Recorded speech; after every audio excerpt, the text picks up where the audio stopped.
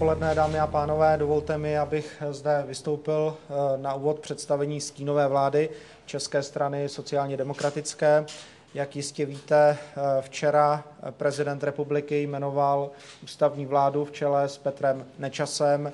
Dnes eh, hlavní opoziční strana, kterou je Česká strana sociálně demokratická, představuje svůj alternativní tým. V západních demokraciích je obvyklé, že hlavní opoziční strany Eh, nejenom tedy vládu kritizují, ale představují jak personální, tak programovou alternativu a naše stínová vláda chce být jak personální, tak programovou alternativou stávající pravicové vlády koalice eh, ODS, TOP 09 a věcí veřejných. Vláda, kterou eh, včera jmenoval prezident České republiky, chce být vládou snižování zadlužení země, posílení právního státu a zmenšení prostoru pro korupci. My jako sociální demokraté máme vážné a odůvodněné pochybnosti o tom, zdali je tato vláda schopna těmto deklarovaným cílům dostat. Obáváme se, že nová vláda je postavena na jednoduché ideologii tažení proti sociálnímu státu. Cílem vlády je jednoduše sebrat peníze na financování veřejných služeb a pak pod zámínkou jejich nízké efektivnosti tyto služby postupně zrušit či privatizovat. Složení vlády, tak jak ji vidíme, dává jen velmi malé šance na rehabilitace, rehabilitaci české politiky a na to, aby se česká politika zbavila lobistických či klientelistických tlaků. Jsme přesvědčeni o tom, bohužel, že politika nové české vlády nepovede k posilování sociální soudržnosti naší společnosti a její integrity. Povede naopak ke dezintegraci české společnosti. Budeme brzy nejspíše svědky toho, že se další sociální skupiny budou propadat do e, pásem chudoby. Přitom Česká republika patřila donedávna mezi země s nejnižší mírou chudoby v rámci Evropské unie, a to i mezi eh, vyspělejšími zeměmi. Zdá se, že eh, tento, eh, tento dobrý výsledek stávající česká vláda nepokládá za něco, co by měla obhajovat v příštích letech.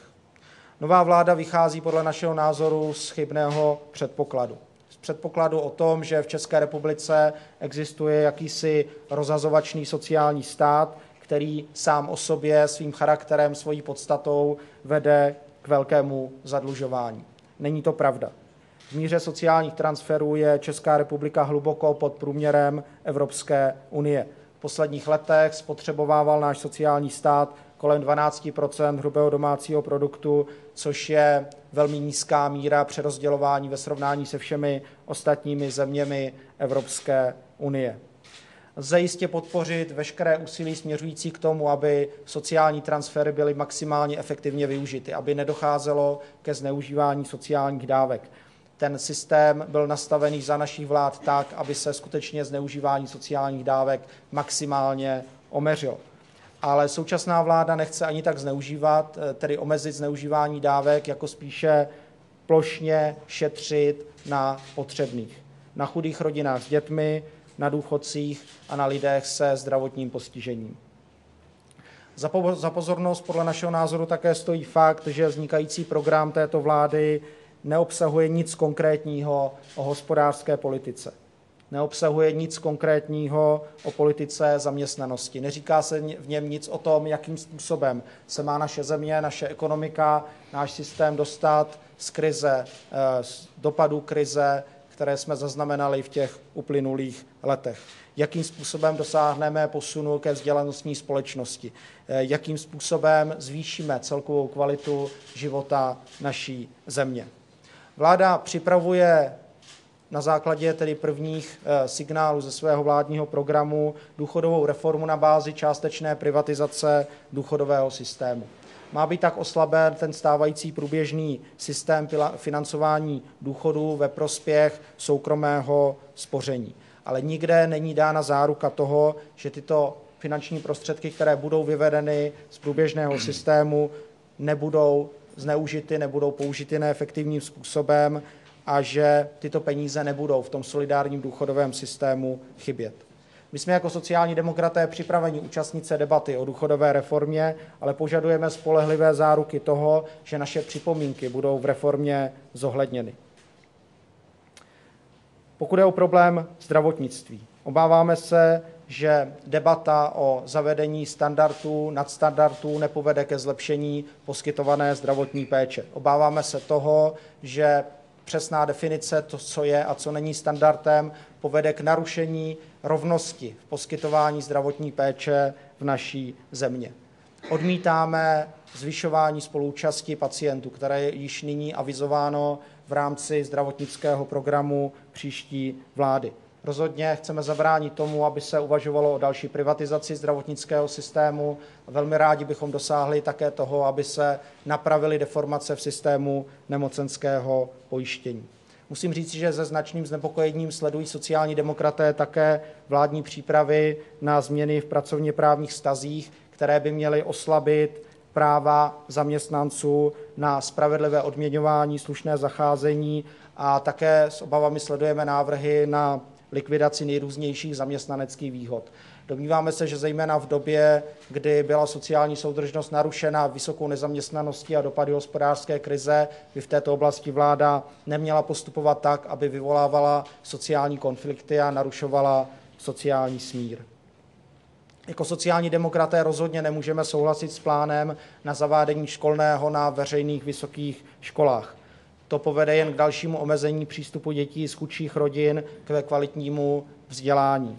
Ani systém odloženého školného neznamená žádné skutečné řešení. Jednoznačně jako sociální demokraté prosazujeme přístup k bezplatnému vzdělání, včetně toho vzdělání na vysokoškolské úrovni.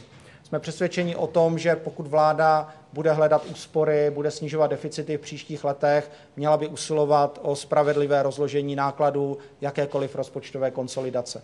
To, co nyní čteme ve vládním programu, tak o tom rozhodně nesvědčí. Připravuje se rozpočtová operace, jejíž náklady ponesou středně a nízkopříjmové skupiny. Připravuje se rozpočtová operace, která žádným způsobem dodatečně nezatíží ty nejvyšší příjmové kategorie.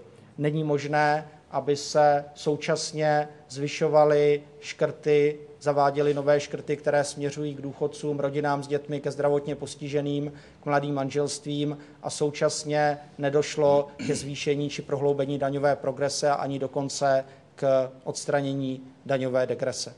To jsou všechno důvody, proč sociální demokracie nemůže podpořit vznikající vládu.